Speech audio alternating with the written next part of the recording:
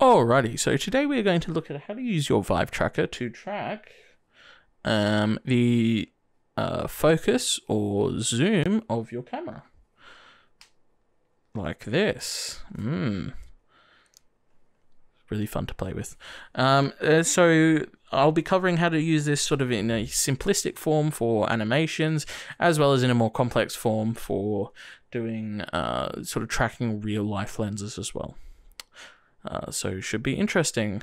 Um, however, I'll go into a bit more detail at the very end of the video, but this I would not recommend this for actual tracking a lens um, if in a production environment, and I'll, I'll sort of explain a bit more. But for if you just want to fiddle around with proof of concept or um, you just doing sort of some animations without camera tracking and want to just use this as a, a more nicer way of zooming or focusing, then uh, yeah, it's perfect for that. Alrighty, so to do the Vive tracker for the focus or um, zoom, uh, what we're going to do is just use the handy dandy Steam VR device tracked such and stop. Um, tracked device. I um, get tracked valid position orientation. Alrighty, so um, I already know I set up this little fun funky action to get the so I already know it's three. Uh, and so next we come to what our orientation is. So um, the Vive has its prongs facing forward with the um, light upwards. That's how it's supposed to be mounted, and so that means the um, the z axis is sort of through the light going up. The y axis is left and right. So the x axis and forward and back, and that's the axis you're most likely to mount it on a follow focus. So that is the axis we're going to be using. I need an event tick. Alrighty, so the issue, however, is that it comes at, the Vive tracker measures its rotation from negative 180 to 180 degrees, um, and so it's a bit difficult to work with. Um, and so instead, what we're going to do is we're going to use a map range clamp node, um, and we're just going to use this to change it from uh, that, which so negative 180, 180. Uh, and we're going to change it to 0 to 360. So we're not working with, you know, that's more the more common way of measuring the rotation around in a circle. It's sort of in 360 degrees.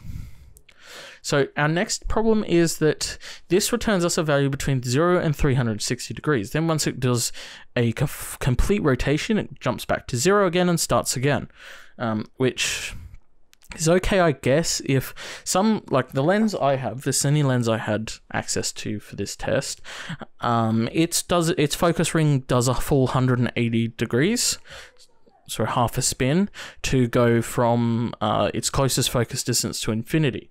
Um, some lenses not that I can think of any off my the top of my head, but some lenses may go beyond that. Um, zooms I can think of uh, lenses with zooms that go beyond 360 degrees of spin. Um, don't use a kit lens for this with like those infinity focus ring things. It's just bad times all around. Um, so what we're going to do is we're going to turn this from an absolute value of something between 0 and 360 to a relative value. So it can be added to and taken away. So we can we can do like a 500 500 degree turn for example and it'll show up fine. Um, so the way we're going to do that is very similar. Um, Except the only problem is, so it'd be similar to how we've done stuff with like the add relative location for things like the camera movement. Um, the only problem is we're not actually applying any of this to a physical object, so it's going to be a bit more mathy.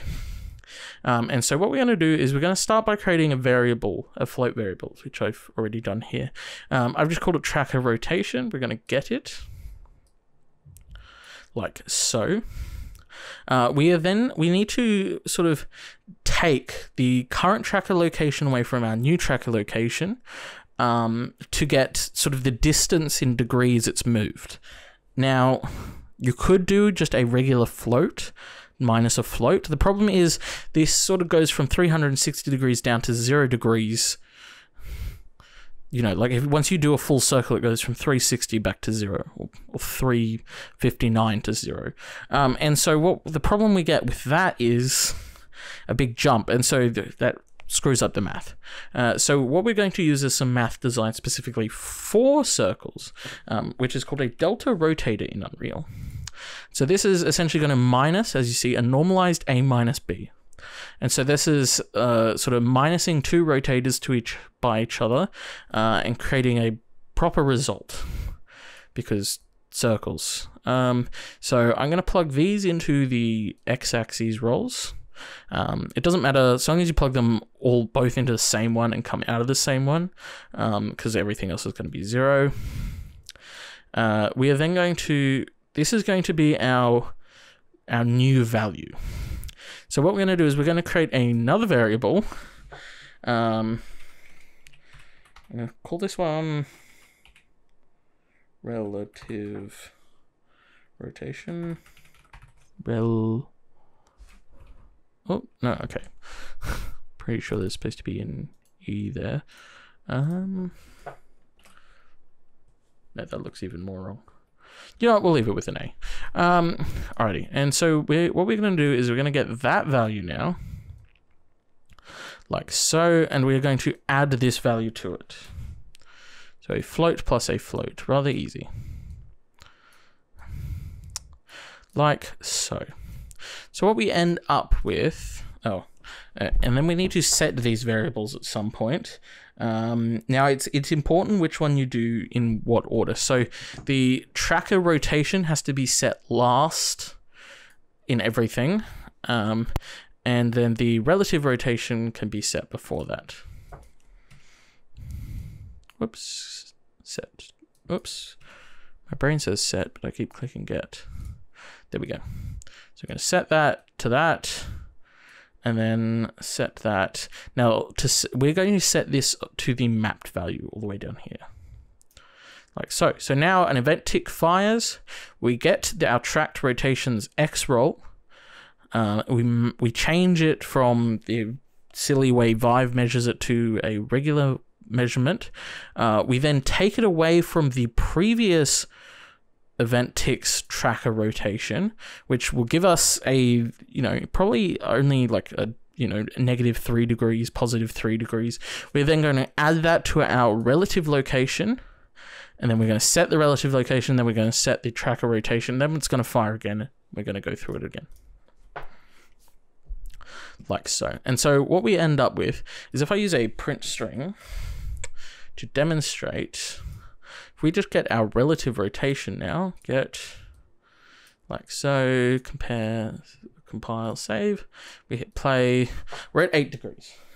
And now if I keep spinning it, we're in negative territory and keep spinning it, and we've hit 360 and we're still going.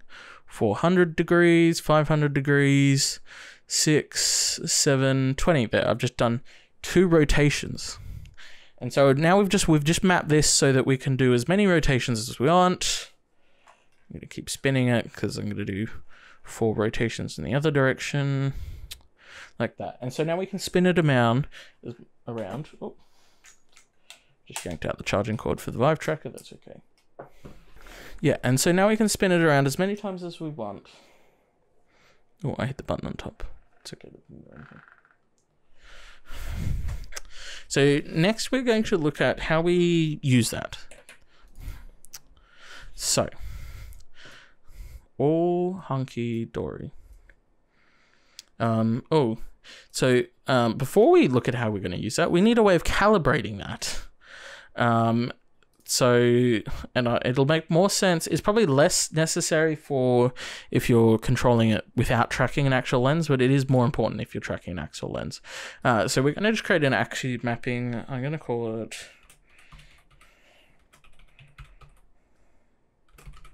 reset tracker rotation. Um, i'm just going to make it the spacebar like so. Um, this is really simple code. We just type reset tracker rotation, and we get our relative rotation and we set it to zero. Amazing. So now when we hit play, so it's at 26, I hit space, now it's at zero. EZ. So first we're going to look at how we can map this to um, sort of a focal length or a focus um, outside of tracking an actual camera and then so skip ahead a bit i'll put somewhere how far you need to skip ahead uh, to map it to a real value. Um, so to do it for a uh, fake value we're going to start with the folk folk um, focal length. I can't speak. Um, did i take a i'm just looking at my notes. I swear i took a Yeah, thought so. Alrighty. Um, so it's rather simple. What we're going to do is um, I'm going to delete this track, this string, but we'll come back to it. Um, so we just need another map range clamped, as well as a set focal length node. Uh, so untick context, context sensitive find it. Uh, so reference your camera in the favorite way you like to reference it, uh, and grab your map range clamp. So the way this works is in the input for range A, leave it as zero. For range B, you want to set how many rotations it takes you to go through the whole you know, zoom from zoom in to zoom out, how much rotation you want. So uh, I'm going to do 720 degrees because I want it to go. So I want it to go from my most zoomed out to my most zoomed in in two rotations. Next, in the outrange A and outrange B, all we need to do is we need to set our minimum maximum focal length. So common lens 18 to 135, for example. So what we're going to do is in 720 degrees, we're going to go from 18 to 135 degrees. And then that's it. So we hit play, and then I just spin it around, and then turn it back in. Feels really weird being able to do this. There you go, that's 135. And then back out again. So for such a short amount of lens, uh, maybe two rotations is too much. And so that's how you do focal length. That's one of the simplest, uh, no, it is the simplest zoom setup, I think, ever. that I've done at least. Um, so next we're going to have a look at focus. And so to do focus, we need the set focus setting node. Um, setting, set focus settings. And it is going to be the exact same thing. I don't know why I deleted the um, everything else. Uh, so what we're going to do is we're going to make sure it's manual and focus distance. Then we're going to do the same thing, map range clamped. And yeah, I should not have deleted it. Uh, tracker relative rotation, that's what we want. And same thing again, leave the first one at zero. This is going to be how many rotations to complete the whole thing. 720 so two rotations. Uh, my minimum focus distance, now these are going to be in centimeters, so keep that in mind. So one centimeter seems... How? No, no, I do have a macro lens, so that's below one centimeter. Uh, and like a thousand, which is, I don't actually know what, oh, we've got to give it a target. I don't know what infinity is on the Unreal camera. Could probably, it's probably a mathematical way of calculating it. And so now, exact same thing. As I twist it, I'm going to get in and out of focus. Oh, that chair's not in focus. There we go. Easy peasy. So now comes the not so easy, not so peasy. How do I do this for a real life lens? Well, I have a Cine Prime lens on hand, uh, and we are going to look at how we can map that to the lens. So the first thing to note is a lens, if both for zoom and focus, doesn't work in a linear value. It doesn't go from, you know, one, you know, all the way out to to in, well, it's infinity on it. So that's a big giveaway. But you know, it's gonna most of them, you know. You, you twist it at the start and it's going to focus sort of a shorter amount and then it slowly focus more and more. It's the best way I can explain it. It's a it's not a logarithmic curve, but it looks a lot like it's not a linear curve either. Um, you know, it's uh, so what we're going to be doing is looking at how to map that curve. Um, so this will be the same for. I'm only going to demo it because it's it's a prime, so I can't do zoom on it. But it's the exact same method for um, if it was if you're mapping zoom instead of focus. Um, and so what we need for that is a notepad because we're going to take some notes. Um, so. Unreal works in the metric system, so if you don't, if your lens has metric on it, I believe most do, uh, use that.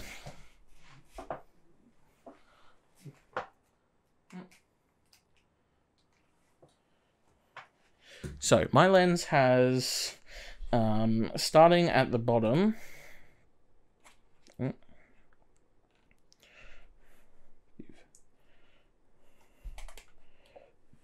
so starting at the bottom, it has 0.2 meters, 0.25 meters, 0.3 meters, 0.5 meters, 1 meter, and infinity.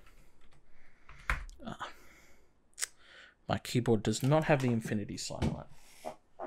And my Vive tracker keeps um, infinity. Maybe I'll Photoshop an 8 to the side.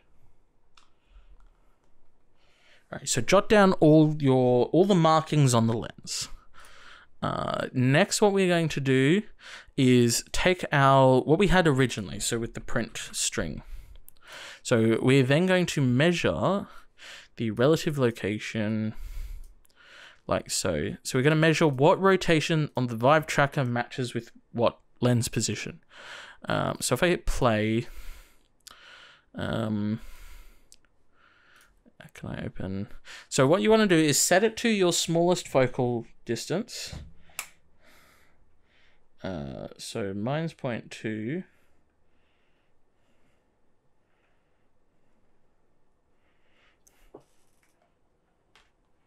Actually, apparently mine's not moving at all.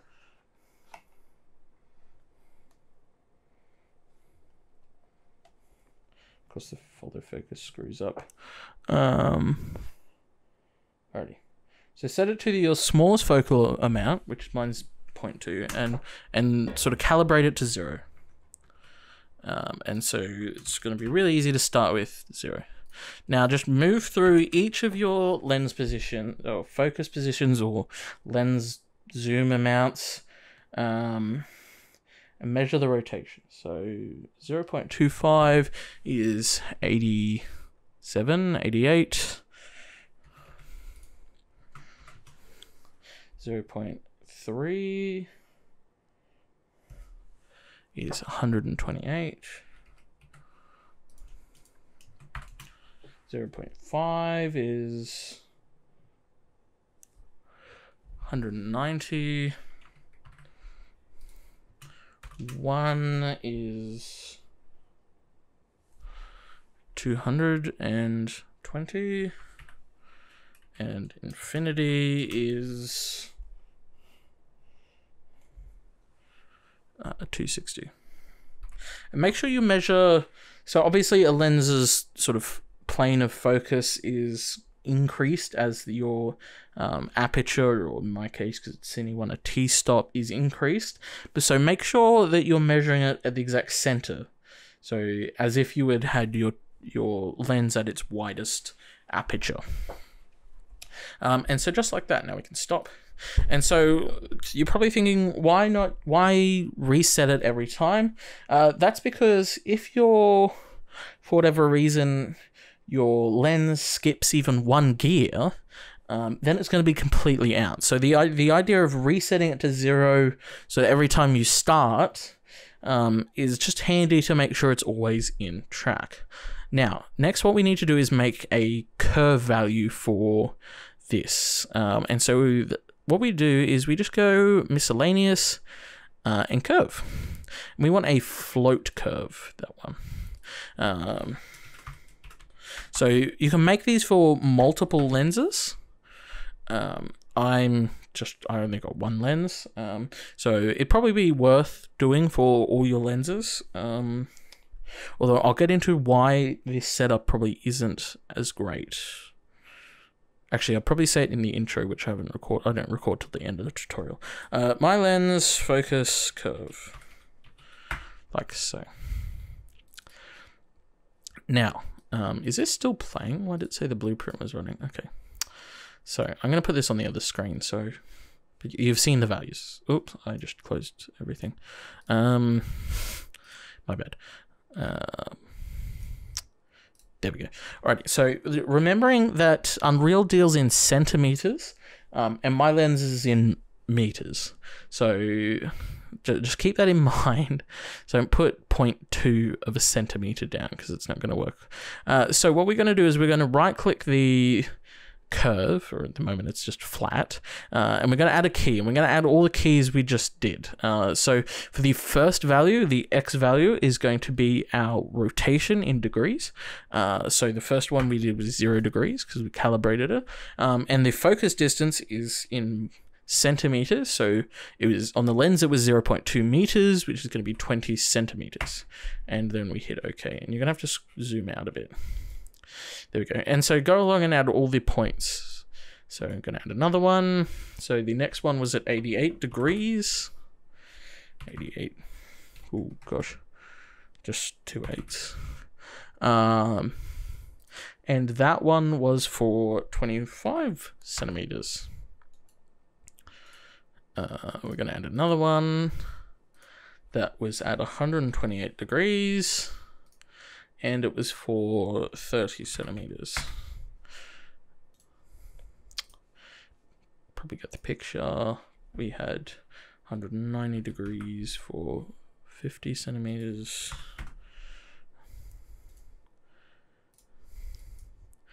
And 220 degrees for 100 centimeters.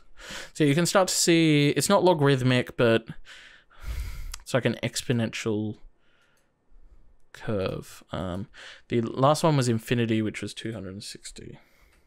Um, again, I don't actually, I'm going to set it to a thousand. I think, because I don't actually know what Unreal's camera's infinity is. But, holy crap. Um, there we go. Thousand seems a bit a hundred? Oh wait, we've already done a hundred. Maybe a thousand. I'm gonna go 250 because it's excessive. There we go. That looks a bit less excessive. Um, like so. So we've got a very jagged curve with these hard edges. So what you can do is we'll switch it to auto. It's not perfect. We get these lumps. Um, so we're just going to even out the lumps a bit. We don't want lumpy curves, like so. Um, and so you can experiment with the curve to make sure it matches with your lens, or um, if you could even find, I don't know, I could not find one for the lens we had, but it's uh, sort of a cheaper cine lens, if there's such a thing. Uh, you know, if you could find, I don't know if they distribute them, that they might distribute um, the the curve of the lens focus. I'm not 100% sure. Um, you could, if you wanted more points, so the more points you have, the more accurate it is. So we're just using the points that are already on the lens, uh, but you could literally grab a tape measure, put little markers every meter or so, and then measure exactly where each one comes into focus if you want it to be spot on. Um, but yeah, there's some inherent problems with the Vive that makes it not ideal for this situation anyway. So once you've made your curve, you can just save that. And we need to create a variable for that curve. So we're going to call it um, my lens uh, focus curve. Like so. Uh, and I'm going to switch it. So I'm going to switch it to a curve. And so under curve float, we want an object reference. So, and when we compile it, we get this down here, which we can then choose. Uh, and so I want my lens curve. Now, we can do exactly the same thing we just did for the focus or um, focal length or focus. Um, uh, what do I want? Set focus settings.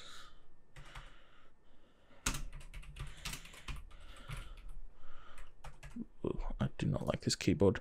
Uh, set focus settings. Uh, except what we're going to be doing is we're going to be substituting the mapping node for the curve um, node, which is called a. Please tell me so. Curve get curve float value. Fantastically named. Don't would never guess what that actually was. Um, oh, I forgot the make focus settings. That's why I'm not looking for this. So, holy moly. There we go. And plug that into there. And then we simply need to reference our curve uh, and plug it into there. And now, so whatever the mount, get a cine camera as well, it wants everything. So whatever the value is coming in, it's then going to map that to um, the curve.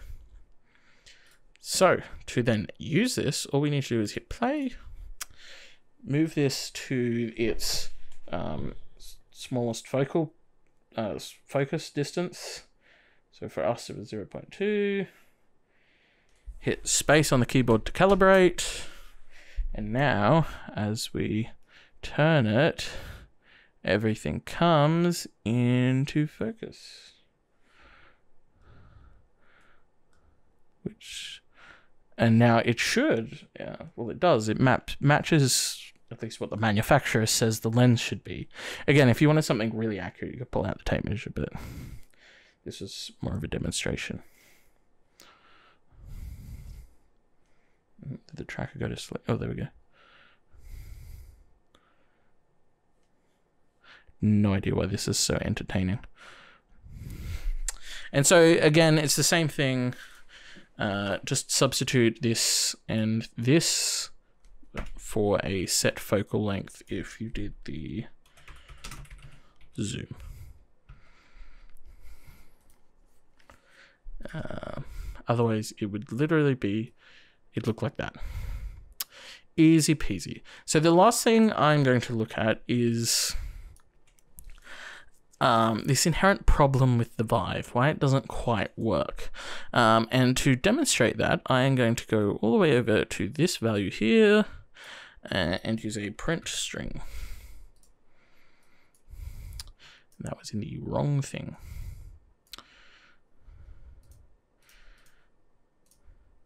This is the Vive perfectly still.